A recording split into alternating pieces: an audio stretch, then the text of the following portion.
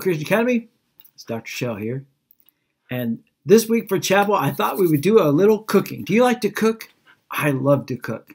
Um, ever since I was a kid, I've just loved to cook, and I especially like to bake. I like to make cookie, cookies, pies, and cakes. And as you can see, my kids got me this uh, awesome chef hat uh, one year for Father's Day because uh, again, I just I just really like to cook. So today for chapel, we're going to be doing a little uh, cooking. So stay tuned, and I'm going to walk you through a little activity that I'm going to be doing in the kitchen. All right, Christian Academy. So here we are in my kitchen, and today we're going to be making some really yummy um, chocolate fish um, that you make with uh, this little thing here, which is a mold. So you take the mold and you fill it with chocolate, and after that chocolate cools, then you pop them out and you shave them off a little bit, and you get these awesome little chocolates. So let's see what we need to do to make this work. So it's really not uh, terribly complicated. You take some chocolates like this, like chocolate chips or either or Hershey Kisses, and then you put them in the microwave and you melt them down so that it's nice and uh, soft and runny like this. And then you just take your mold here and you get a spoon and you just spoon a little bit of that chocolate into the mold just like that. And um, once that chocolate cools down, it will be in the shape of the, they kind of didn't get fill it there. You could tap it down a little bit. And so once that cools down, it will be in the shape of the fish. Now, you might be saying, you know, Dr. Shell, that's really cool, but can we add some flavors to it? Does it have to all just be plain old chocolate? Of course not. So we could take some of that chocolate and we'll just spoon some in here. And we decide, well, let's add a little peppermint. Sure, why not? So I have some uh, peppermint extract, and we're just going to pour a tiny bit into the spoon. And you pour a tiny bit into the chocolate. And we will just mix that all up. And of course, you can't smell it because uh, this is a video but it starts to smell fantastic. And and then you know what else you could do? I have some of these. It's hard to believe these are leftover Girl Scout cookies. Uh, you know, Thin Mints. I love Thin Mints. All you Girl Scouts, remember to find me next year. So I'm going to crush some of those up, and I'm going to put mix that up in this. So now we have extra mint and uh, uh, cookie mixed up in here. And we can put that right in there. So now that one right there.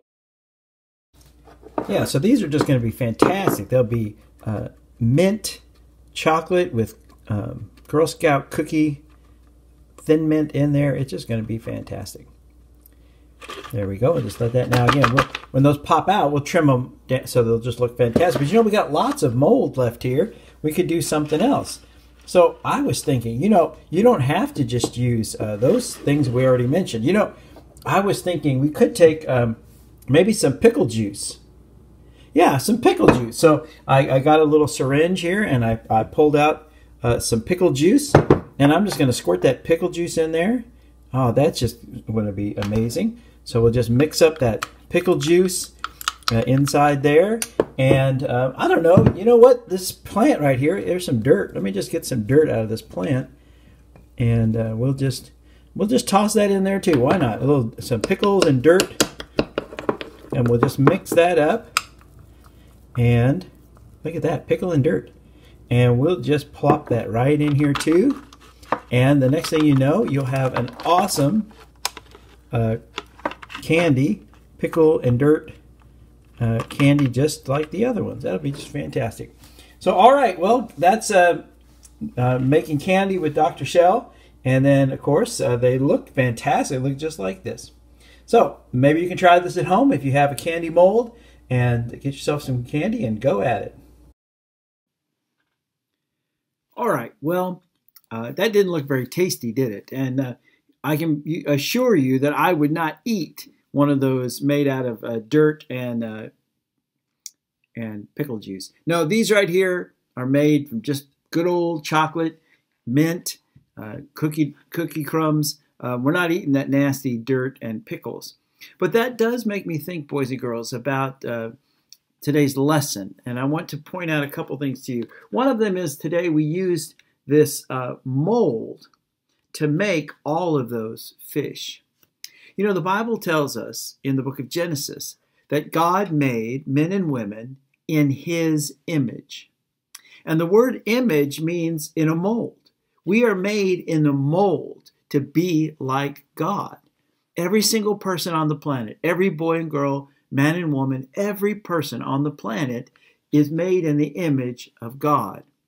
So every single person is special. And every one of those fish, when you pop it out, it looks like a fish. It has the print of a fish. But you know what, boys and girls? What you put in the mold makes a lot of difference, doesn't it? If you put good stuff in the mold, then the fish that comes out of it is good, tasty, sweet.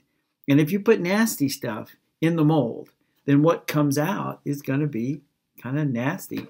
And boys and girls, that reminds me of a verse in Philippians 4 8. I love the book of Philippians. Paul wrote to this church. He loved this church. He was so proud of them. And in Philippians 4 8, Paul says this From now on, brothers and sisters, if anything is excellent, if anything is admirable, focus your thoughts on these things. All that is true, all that is holy, all that is just, all that is pure, all that is lovely, all that is worthy of praise. Practice these things. So, Paul was telling us that, you know, we need to be very careful what we put in our molds because that's going to determine the kind of person we are. What we put in our minds and what we put in our hearts is going to uh, affect the kind of person that we are.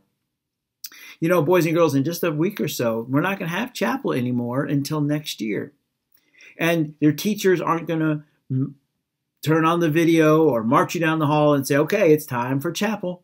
And they're not going to make you come in the classroom and say, okay, everybody, get out your Bibles. It's time for a Bible lesson. And it's going to be up to you to make sure that this summer, what you put in your mold, what you put in your mind, and what you put in your heart is going to help make something that's really good, that's really awesome, that's really tasty.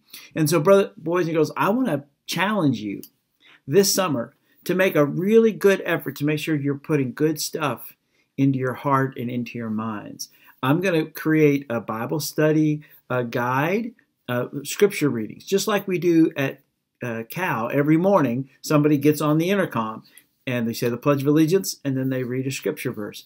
So I'm going to give you a list of scriptures that you can read each day if you want and think about it. So you're putting good stuff into your molds over the summer. And there'll be a, a, summer reading activity to help you continue to put smart, good stuff into your heart and your mind over this whole summer. So I want to encourage you to be very careful about what you put in your heart and in your mind, what you listen to, what you see, because that's going to really affect the kind of person that you develop into and the kind of person that you will be. So I'm going to go do a little more baking and cooking and I'm going to throw away that nasty uh, pickle and dirt uh, candy because I don't think that's going to be very good. So whatever's true, boys and girls, whatever's wonderful, whatever's good, I want you to put those things in your mind and I want you to practice those things. So, all right, you watch for that devotion that'll be coming out for you to follow uh, this summer as you build good character, good things into your heart and mind. Talk to you later.